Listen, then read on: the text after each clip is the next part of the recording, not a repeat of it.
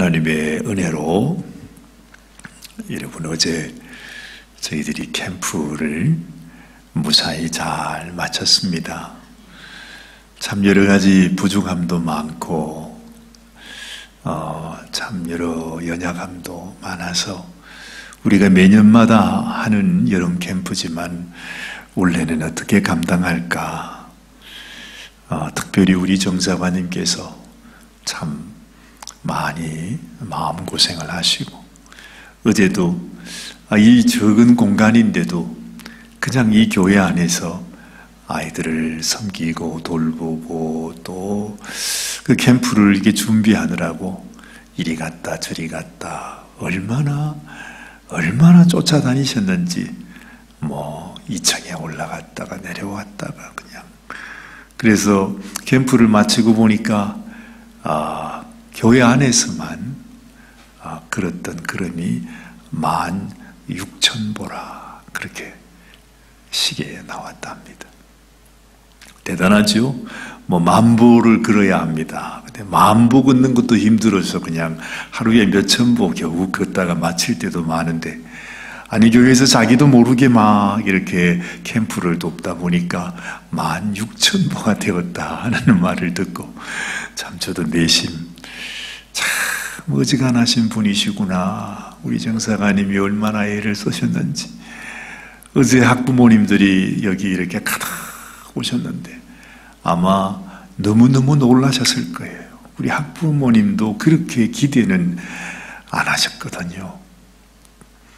그런데 아이들이 얼마나 잘하는지 완전히 우리 교회에서 무슨 큰 공연이 벌어진 것처럼 정말 다 우리 성도님들도 다 오셔서 보셨어야 되는데 아, 얼마나 아까운지 몰라요. 음, 너무너무 감사하고 참 하나님 앞에 하나님 우리가 이렇게 참 부족한 것밖에 없는데도 우리를 사용하셔서 이 어린 아이들에게 이 귀한 시간을 갖게 해주신 것 너무 감사합니다.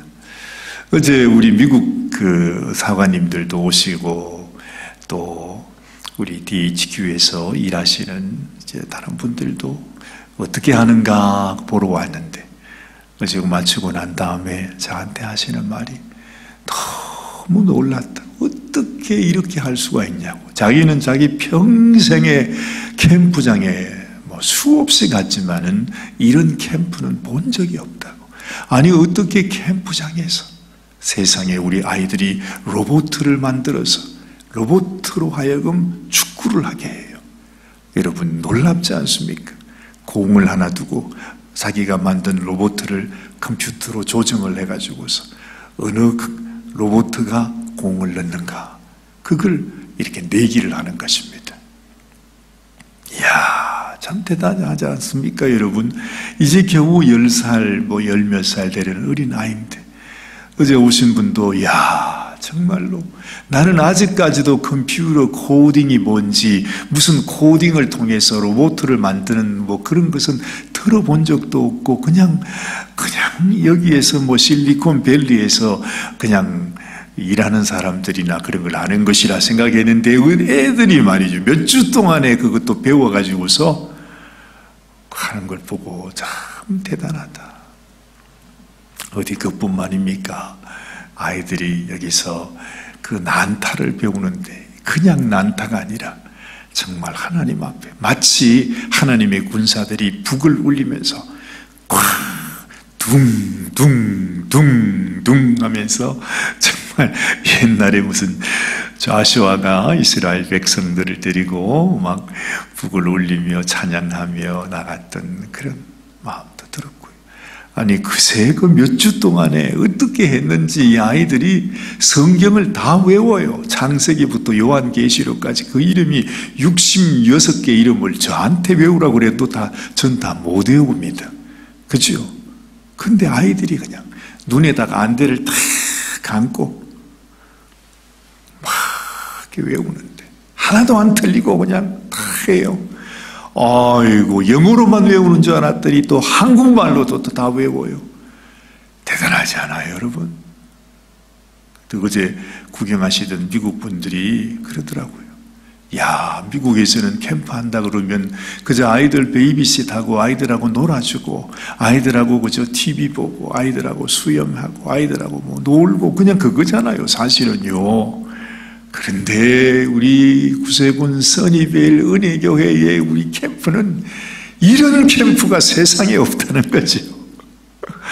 세상에 아이들이 얼마나 얼마나 참 유익하고 정말 이 일을 통해서 아마 평생에 주님을 잊어버리지 않는 그런 캠프가 되겠다 싶어요. 또 한 가지 놀란 게 뭔지 아십니까? 이제 이 미국 분들이 볼 때는 자기들은 아이들 오면 아이들과 함께 영화도 보고 하는데 우리는 무슨 영화를 봤느냐? 영화 제목을 얘기해 줬더니 사람들이 졸도를 하려고 그래요. 우리 아이들이 무슨 영화를 봤느냐 하면 여러분 새롭게 요즘 나온 철로 역전이라고 하는 제가 여러분들에게도 다 보내드렸습니다. 그죠? 그 영화를 아이들이 보는데 아이들이 저도 깜짝 놀랐어요. 보통 영화 본다 그러면 그냥 뭐, 뭐 별 생각 없이 그냥 보잖아요. 그런 아이들이 철로 역정이라는 이 크리스천 무비를 보면 얼마나 지루하게 생각할까. 과연 이 한 두 시간 동안을 계속 보는데 그 아이들이 말입니다. 이제 그저 일곱 살, 여덟 살 때는 그런 어린 아이들이 영화를 볼 수 있을까? 저도 생각했거든요. 그런데 처음부터 끝까지 해가지고, 야, 저 크리스찬이 천국까지 갈 수 있을까?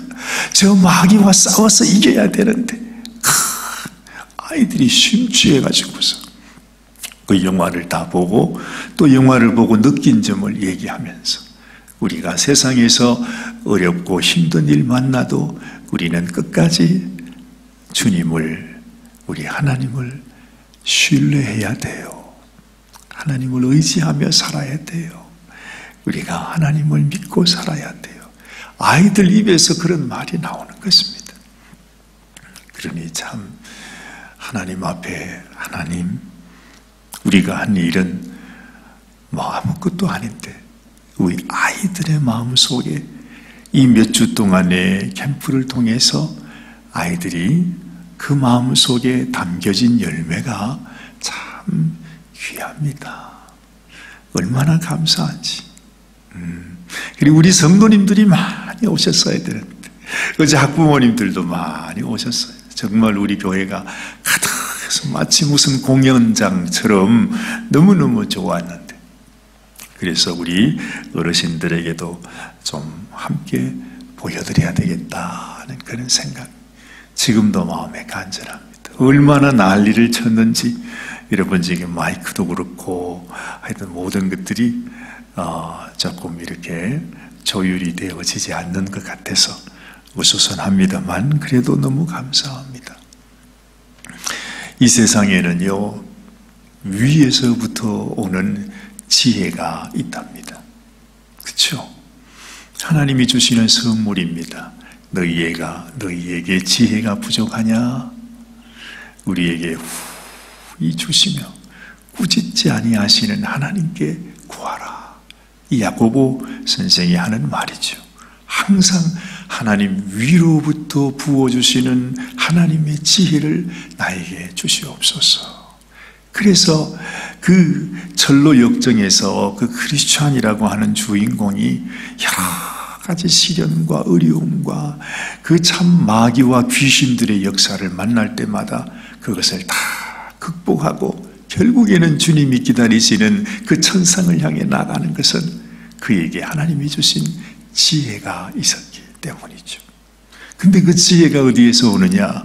여러분 그 영화에 보면 이 크리스찬이 하나님이 주신 그 성경 말씀을 읽고 읽고 또 읽고 또 읽으면서 하나님께서 그 마음속에 지혜를 주시고 그 지혜로 말미암아 아 내가 하나님의 말씀을 따라 믿음으로 살아가야 하는구나 하는 깨달음을 얻게 되는 것입니다. 그와 같이 우리들에게도 위에서 주시는 하나님의 지혜가 필요한 것입니다. 그래서 날마다 날마다 오늘 이 아침에도 하나님 나에게 지혜를 주시옵소서. 이 세상에서 오는 지혜, 땅에서 오는 저 아래에서 오는 지혜가 아니라 위로부터 주시는 하나님의 지혜로 충만케 하여 주세요. 그리고 그 지혜를 따라서 살아가는 인생이 되게 하여 주옵소서. 이런 간절한 소원이 우리들에게 있어야 할 줄로 믿습니다. 그렇죠, 여러분. 이 세상에서는 결국에는 그래요. 위로부터 오는 지혜를 따라 사는 사람과 또한 아래에서부터 이 세상 지혜를 의지해서 살아가는 사람이 있습니다. 결국에는 두 종류입니다. 항상 적용해서 우리에게 말하는 바는 우리가 생명길로 가는 자. 그렇죠? 정말 하나님을 바라보며 사는 자. 결국 하나님이 주신 지혜를 따라서 살아가는 인생이 있는가 하면 그렇지 않는 멸망을 향해서 가는 이 세상 많은 사람들이 가는 넓은 길로 향해서 가는 이 세상이 주는 지혜를 따라 살아가는 사람이 있다는 것입니다. 교회 안에서 함께 신앙생활을 하면서도 우리가 늘 유심히 살펴봐야 되는 것은 나는 지금 하나님께서 나에게 주신 지혜를 향해서 그 지혜로 살아가고 있는가 아니면 세상 지혜를 의지하며 걸 살피면서 주님 나는 이 세상 이 땅으로 아래로 내려가는 인생이 되지 않기 원합니다 하는 마음이 소중하다 하는 것입니다. 오늘 야고보 선생님께서 우리에게 하시는 말씀이 바로 그 말씀입니다.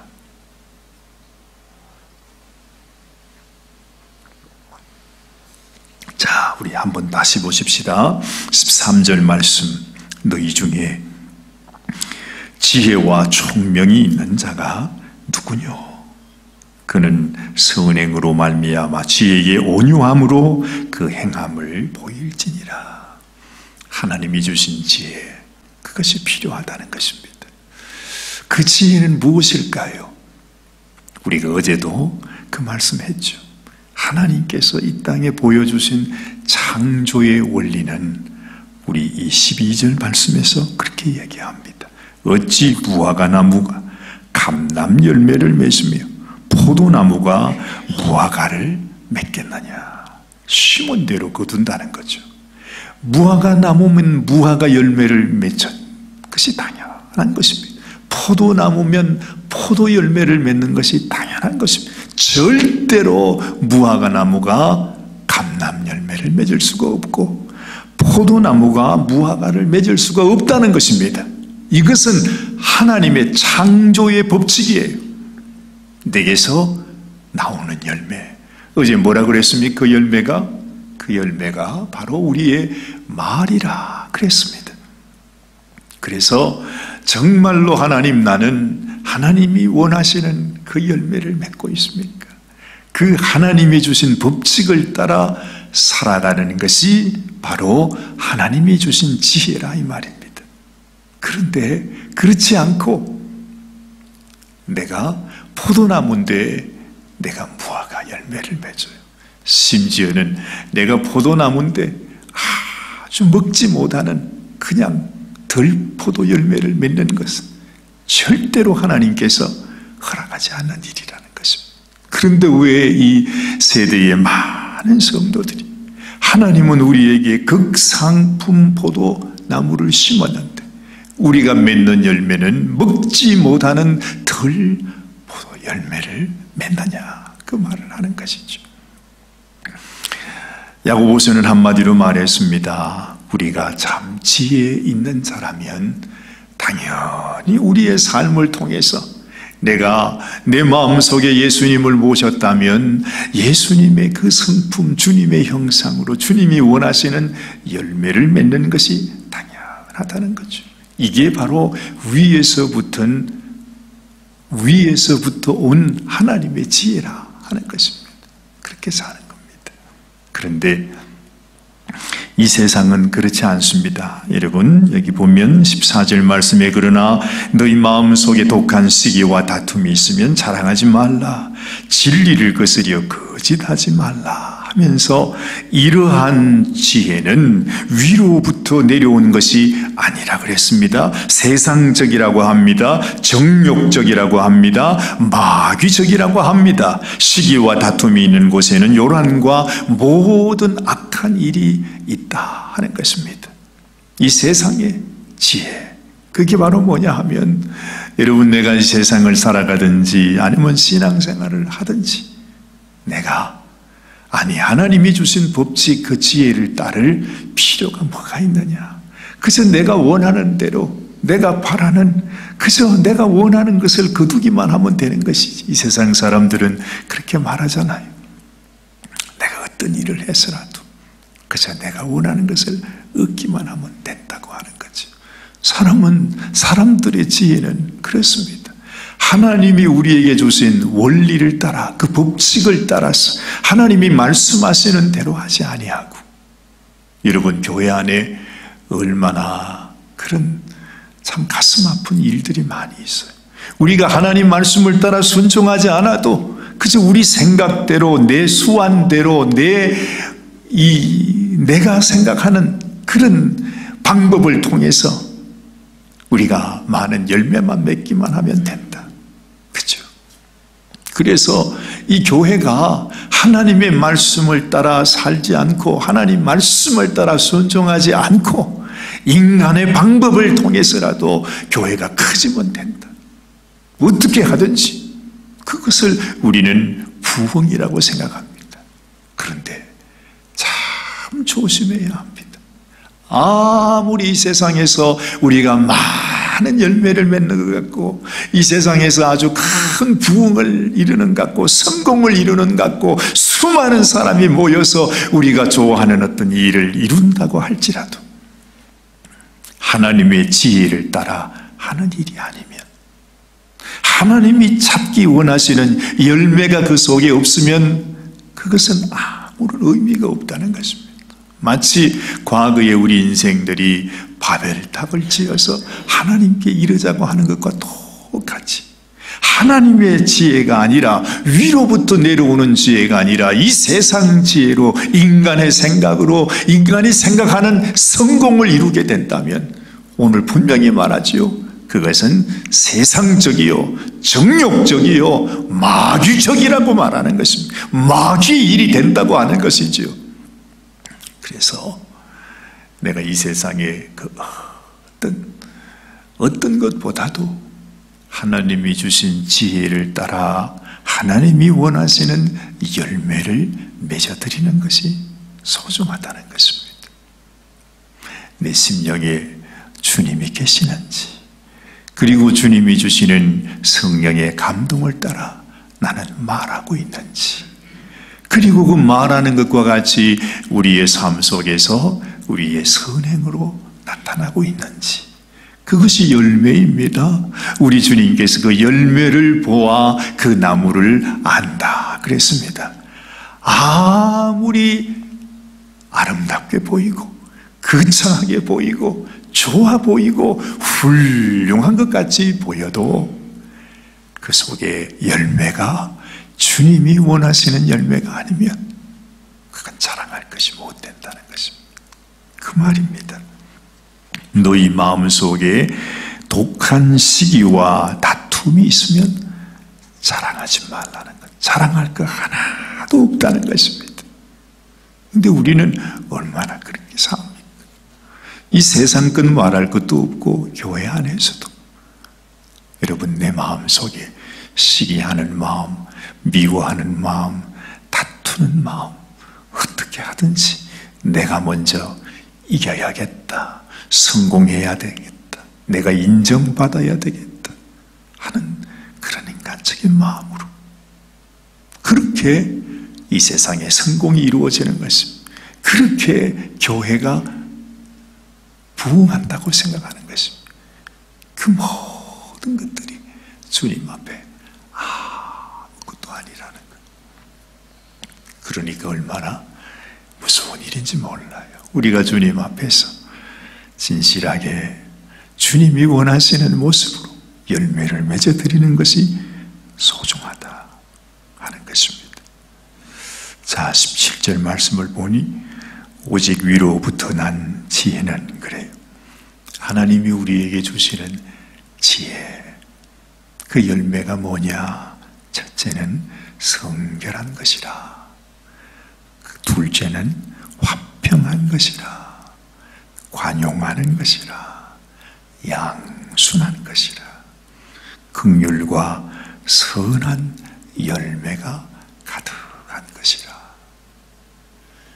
너무 분명합니다. 다른 설명이 필요가 없습니다. 주님의 모습 그대로 여러분이 생각하신 주님이면 어떠실까? 주님이면 어떻게 하실까? 주님이면 어떻게 하셨습니까? 이 세상의 악함을 보고 우리의 배역함과 우리의 완악함을 보고 주님이 하신 일은 뭐였습니까? 말없이 당신의 생명을 내어주는 일이었습니다.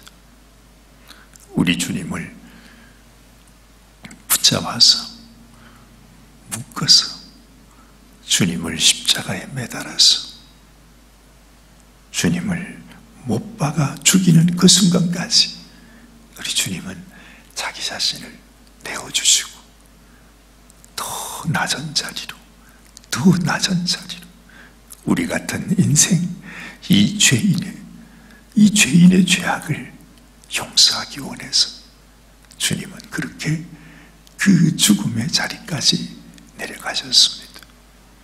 주님이 원하시는 것이 뭘까? 우리에게 주님이 원하시는 것은 뭘까?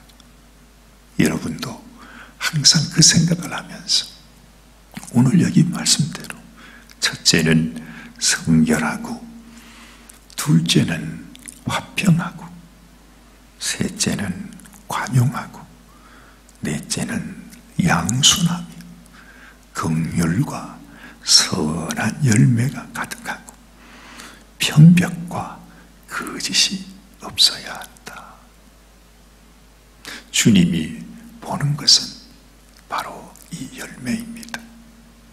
이것이 없이는 하나님께 나갈 수가 없습니다. 분명히 성경은 말하고 있습니다. 지난번에 우리 히브리서에서도 그렇죠.